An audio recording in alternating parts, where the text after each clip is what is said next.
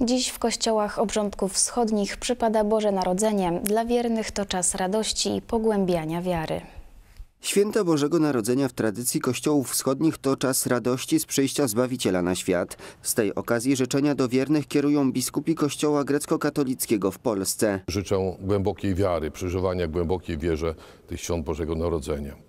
Oprócz tego tradycyjnie życzę wszystkim, którzy te, który, którzy te święta w tym roku będą świętować i świętują e, zgodnie z kalendarzem juliańskim, ale aby były to święta spokojne, wolne od wojny, zwłaszcza na wschodzie Ukrainy.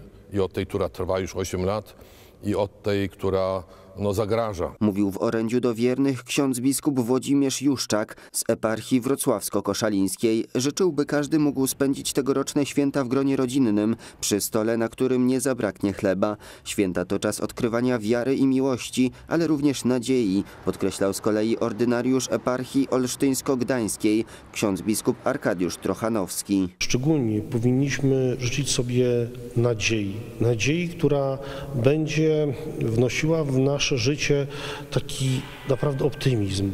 Radość, y, też takie zaufanie do Boga, która będzie jakby nas y, pobudzała do takiej otwartej wiary y, na Boga i że człowiek będzie pragnął trwać w tym, w tym co dobre. Bo Bóg posłał swojego Syna na świat, aby zbawił każdego z nas. Świętując Boże Narodzenie, życzę każdemu z nas, żebyśmy na nowo odkrywali obecność Pana Boga w naszym życiu. Boga, który stał się człowiekiem.